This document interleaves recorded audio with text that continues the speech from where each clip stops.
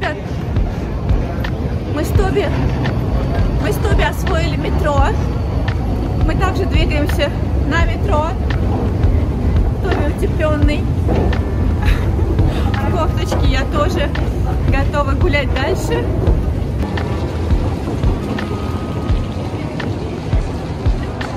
Вот так выглядит венгерское метро. Там вот есть карта, посмотрите, всегда можно посмотреть, на какой вы остановке, куда вам двигаться.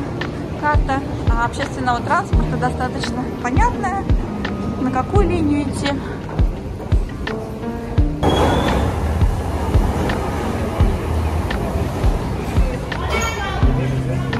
Не только повезло сесть на старый поезд, но еще увидеть старую станцию, посмотреть отделанную деревом.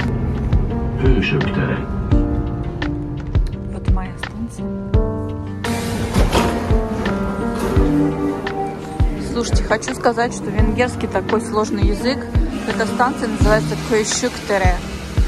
Я на слух не воспринимаю совершенно, когда слышу, что это за станция.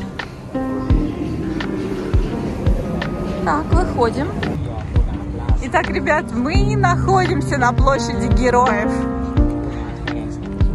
Посмотрите, какой размах. Здесь вот я смотрю, кто-то выступает, что-то рассказывает. Рассказывает на венгерском, я ничего не понимаю. Для меня этот язык практически не познан вообще. Какие-то слова элементарные, конечно, я могу узнать, ну, и, скорее всего, написанные, да, такие как парк, улица, двор еще что-то. Но в основном для меня это что-то непознанное. На слух воспринять очень сложно, даже если перед тобой надпись есть, знак. Ну, допустим, в метро станция, название станции вы видите, и когда объявляют эту станцию, то распознать это совершенно невозможно. Вот так. Я не знаю, о чем здесь это выступление. Вот. Но я могу сказать, что этот монумент как раз-таки о семи героях, с которыми Византийская э, империя, вошедшая сюда, я думаю, что много раз, должна была иметь дело. Ну и за спиной мы видим других героев, да, которые представлены здесь. В общем, это исторические моменты, которые надо знать подробнее.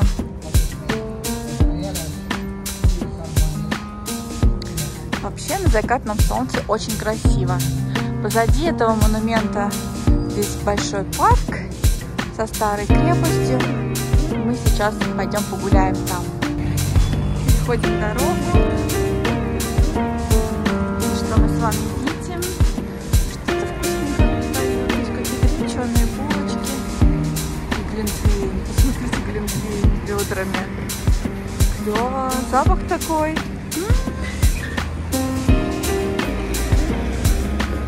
Итак, Вараш Легет – парк в Будапеште, который рядом с площадью Героев. Ну, я хочу сказать, что это не только самый большой и колоритный уголок города, но и, я думаю, его культурный центр. Этот городской парк – вообще излюбленное место для прогулок. Посмотрите, как красиво. Тобиас, пожалуйста, что я теперь с тобой буду делать? Смотрите, здесь как красиво надпись Будапешт, да? Будапешт. Отражение в воде.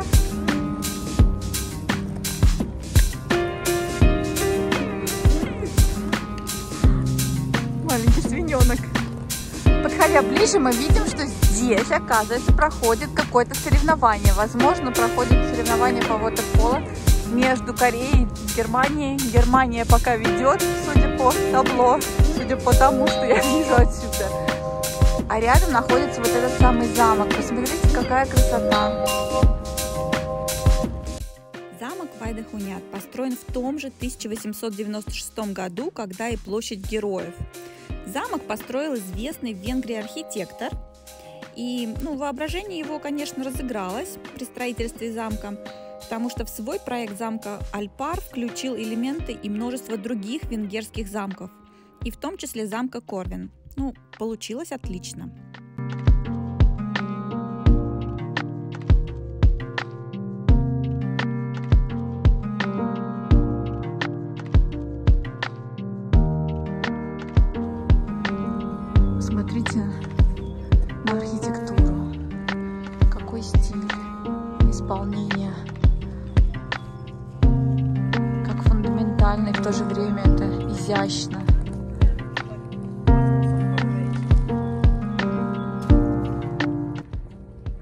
С этой стороны, посмотрите, знак специально для Тоби. Не нюхай, пожалуйста, цветочки. Хорошо, не будем. Надеюсь, он будет воспитанным. Как интересно. Посмотрите, как детально. Красиво. Очень красиво.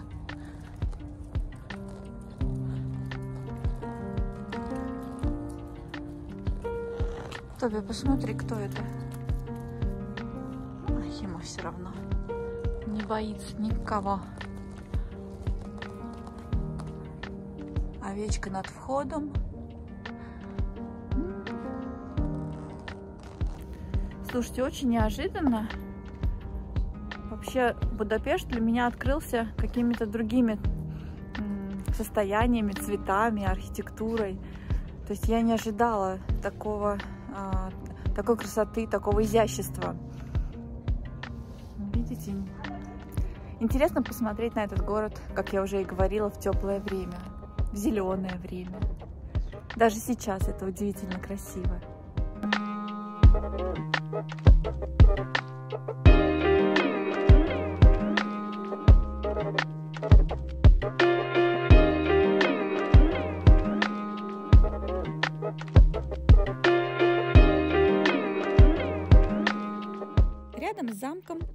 в парке Варшлике стоит памятник Анонимусу, который был создан в 1903 году талантливым скульптором ну и вот э, эта статуя изображает летописца, который сидит на скамеечке с рукописью в одной руке и пером в другой руке. На голове надет большой капюшон, как вы видите. С другой стороны этого парка, посмотрите, здесь такой птичник, вот где дамба была. Здесь небольшой прудик. Тут даже цапель ходит. Тоби, смотри, цапля, первая цапля в твоей жизни. Какая прелесть. А рыбы-то какие большие. Здесь рыбы огромные.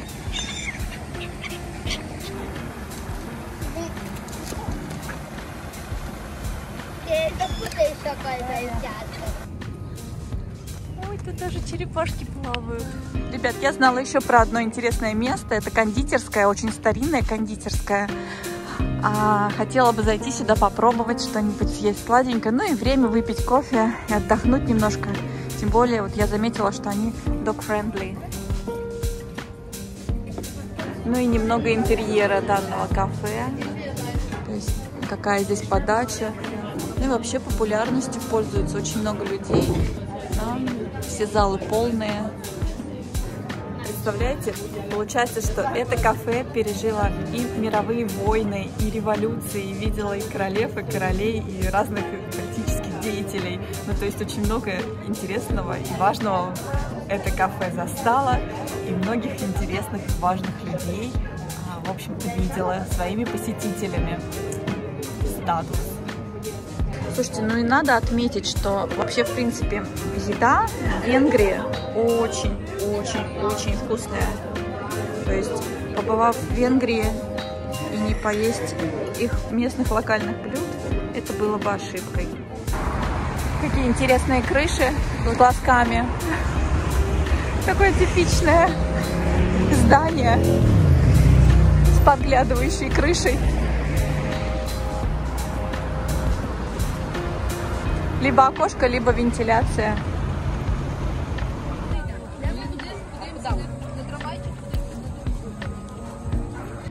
Ребят, сейчас нахожусь на другой стороне. А, смотрите, вот за моей спиной а, Chain Bridge. Вот она, реконструкция этого моста отсюда видна. И а, посмотрите, здесь Gresham Palace. Здание очень красивое и на солнышке золотом видно отливает. Сейчас в этом здании находится отель Four Seasons. Можно сказать, что два английских инженера, построивших или проектировавших э, мост, да, Чейнбридж, не ошиблись, да, напротив такого красивого дворца. Очень красивый мост, и на той стороне, конечно же, э, крепость и президентский дворец. Все в одном месте сосредоточено.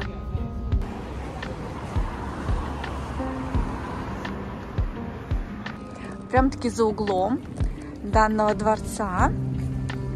Смотрите, виднеется кафедральный собор. Смотрите, какая аккуратная улица ведет к кафедральному собору. Он такой в конце возвышается величественный. Красиво. Здесь ресторанчики, сувениры, конечно же. Ну и кафедральный собор – это самый большой собор, церковь в Будапеште. Какой интересный мужчина у нас тут на пути. 235.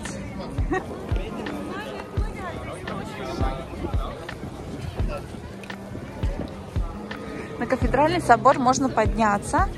Я смотрю, там люди гуляют по балкону. Я не уверена, что меня Стоби куда-то там пустят. Но тем не менее, это возможно сделать.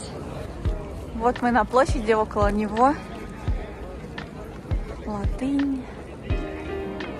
Золото. В стиле Новое барокко я прочитала. Может быть. Может быть. Ну, людей не так-то и мало, я хочу сказать. Попробуем зайти, посмотреть, что внутри. Огромный. Чем ближе, тем кажется больше. Посередине здесь такая дверь, сейчас закрыта. Святой Петр, Святой Павел.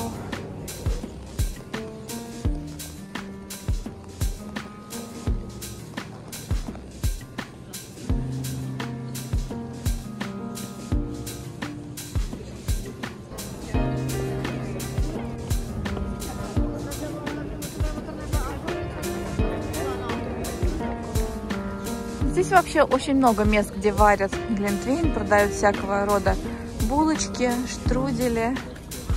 Я вижу тут интересный памятник. Девушка с собачкой. А вот как раз-таки куртошкалач готовится. Девушка работает с тестом, чтобы потом приготовить вот эти вот круглые вкусняшки вон там вот в печи. Кругляшки.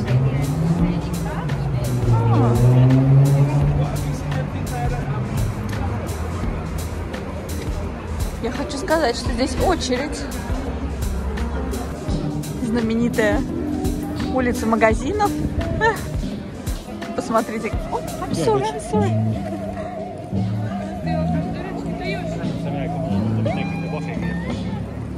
Да.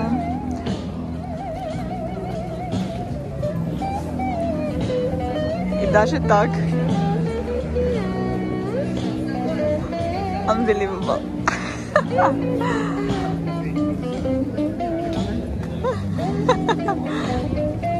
Вот она, знаменитая улица магазинов. Здесь не только магазины, но и вот такой раритет можно встретить. Отжигает. Молодец.